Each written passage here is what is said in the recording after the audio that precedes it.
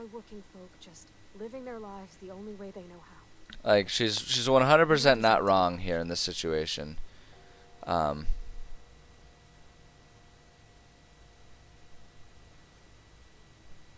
yeah, like that's where I'm at too. Miss MacDuff's built something beautiful.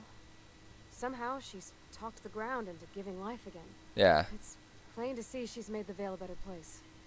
Fed the hungry, tended Yeah. the sick. Gave a home to those that had none.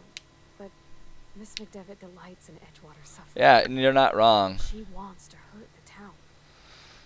Do you really want to be party to? I mean, yeah, like they put me in a situation where I think, yeah, I don't know. I'm gonna I'm gonna stick with like that. I just I'm gonna stick with it. I felt like I Um, had to say but I think the game has set up a situation where I'm gonna be an asshole. Um. Uh, yeah, whatever. I mean, wow. Thanks. Someone told me those words in that order. That's great. Told me those words in that order. All right. Um. So I- I'm gonna pick up these things. Yeah, I'm gonna go ahead and. Um. Yeah, continue.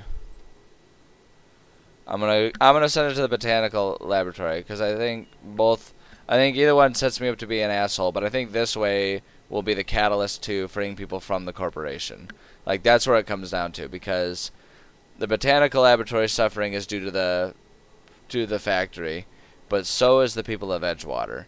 So I think if I do that, that will kind of force the the shutdown of the corporation, and then those people can all just go to the botanical garden, and it'll be fine that way. So that's what I'm gonna do. So I'm gonna do. All right. There we go. Okay. Okay, so we did that, and now I'm going to. Um, yeah, I'm gonna go ahead and save. I'm gonna go ahead and save, and then um.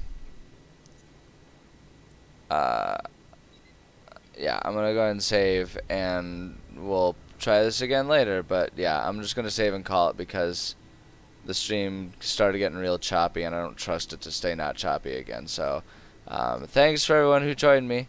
Uh, it's fun. It's fun.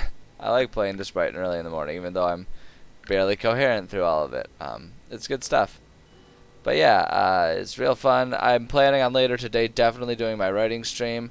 Maybe even doing another bonus uh, Mass Effect stream to make up for it because I do really want to beat that game. Um, we're very close to beating it, and I actually think if I do a, an evening stream tonight, um, where I've got all the time in the world, we can get it done. So look forward to those things today. Um, but yeah, I'm gonna get out of here, and I'm I guess I'm gonna go kick my own ass at the gym, which is um, good for me, but also it sucks. So like, that's the situation. Um, yeah, no, sorry, this stream started getting really choppy there, but rather than sitting here fighting with it and getting grumpier and grumpier because I'm also still sleepy, uh, we're just gonna move on with our day, and we'll be back to stream later on today. So um, so yeah, all right, I appreciate all of you. Looking forward to seeing you later today. Um, I will probably be a bit more coherent and awake at that point in time too. Or at least that's the goal. That's usually how it's supposed to go throughout the day. Um, but y'all are wonderful people.